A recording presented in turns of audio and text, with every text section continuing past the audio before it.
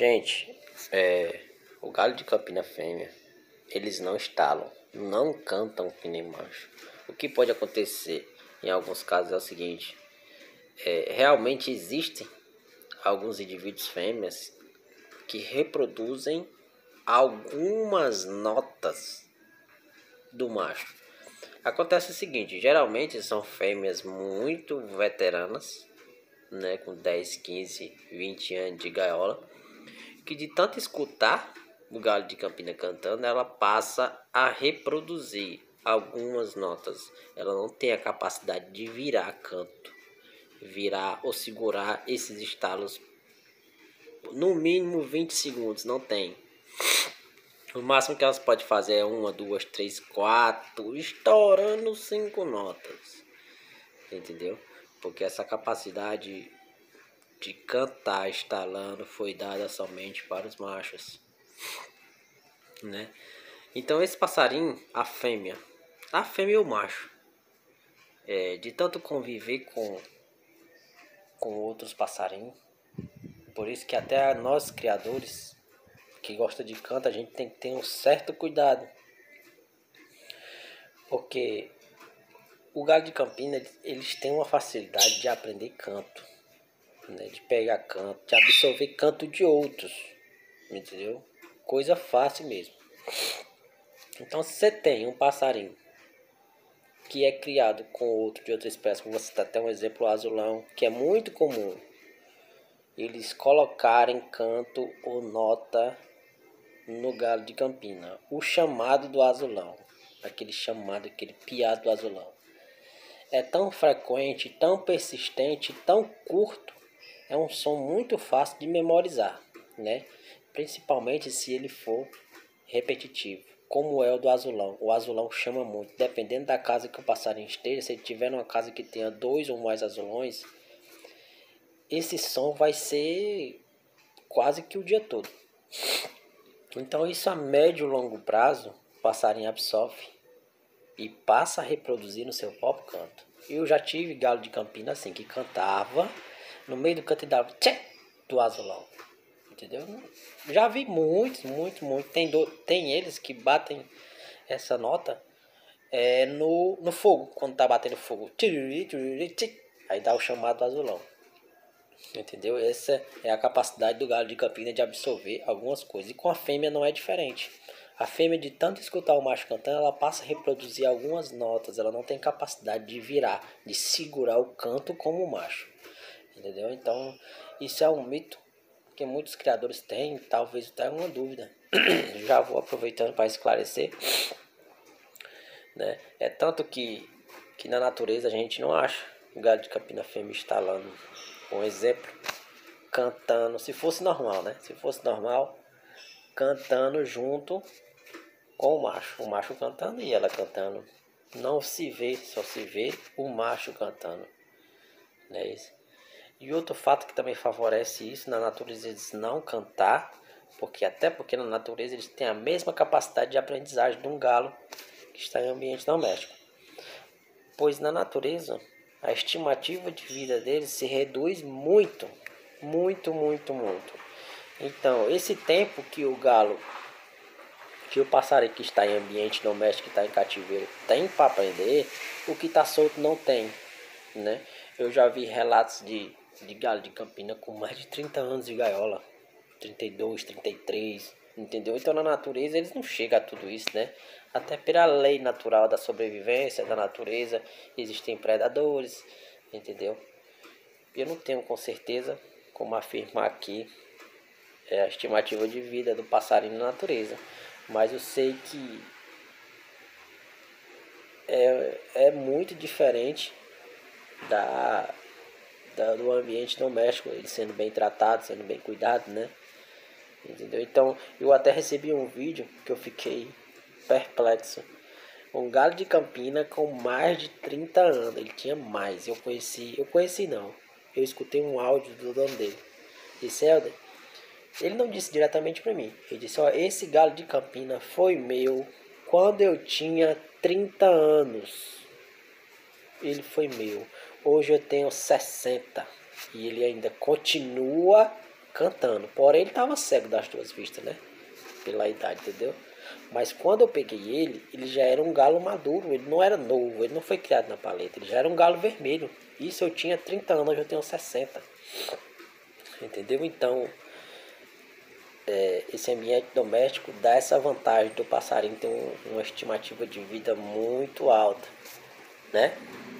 Então é isso aí, pessoal. É, inclusive eu, eu vou captar uns vídeos certos ensinando a vocês como conhecer também um galo de campina cantando de corrida. O macho e a fêmea, eles cantam diferente. E muita gente não consegue captar, não consegue ver essas diferenças. Então, eu vou tentar captar aqui áudios corretos para mostrar para vocês essas, diferen essas diferenças e vocês mesmos ter a capacidade de distinguir um galo de campina macho cantando de corrida com um galo de campina fêmea cantando de corrida. Entendeu? Então, eu espero ter esclarecido alguns pontos que, que eu acho que muitos criadores carregam essas dúvidas. E existe um motivo na qual levou muitos criadores a acreditar que aqueles passarinhos fossem realmente fêmeas, né? O motivo que eu encontrei foi o seguinte: geralmente são criadores que não têm tanta experiência, que pelo fato do galo de Campinas ser problemático, de estar tá esfriando, ele chega na casa, um exemplo, um macho, ele chega na casa de um criador que não tem tanta experiência esfria e passa a cantar apenas de corrida. Né? Só que ele não tem a percepção de um criador que conhece o galo de Campina macho cantando de corrida e não conhece a fêmea. Então para ele tudo é a mesma coisa. Porém esse galo está frio e só canta de corrida. Né? Então logo ele vai assimilar. Eu fui enganado.